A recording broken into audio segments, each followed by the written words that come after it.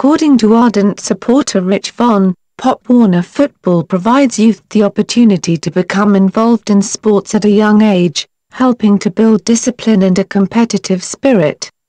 Rich Von became involved with Pop Warner football after his son graduated from high school.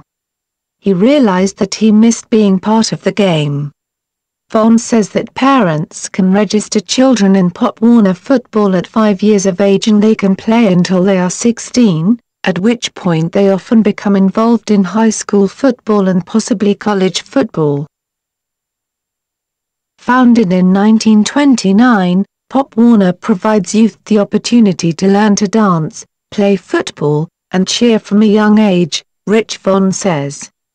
This preparation gives youth the skills they need to participate in school sports, with many students having a clear competitive advantage in trying out for these activities, Rich Von has found. Additionally, Rich Von and other parents report that participating in sports helps keep children busy, thus preventing them from getting into trouble. Another important component of the organization is Pop Warner's academic requirement. As Rich Von explains, Pop Warner participants must maintain a 2.0 grade point average or equivalent, which in many areas is AC average. Rich Von finds many of the youth on his team exceed this requirement by far, and with the focus and discipline they learn playing football they find an overall determination that helps them in all areas of their lives.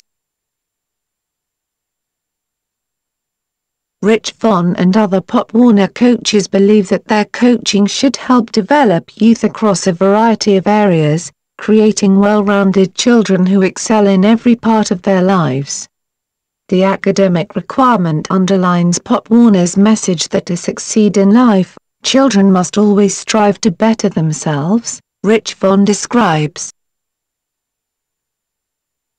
According to Rich Von, Parents can sign children up for Pop Warner at the organization's website, popwarner.com or by calling their local chapter.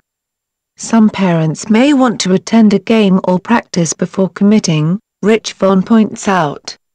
Rich Von emphasizes that there is no cutting of children from Pop Warner's rosters, so children's egos are built up helping give them the confidence they need to continue to pursue what they want in life long after their association with Pop Warner ends.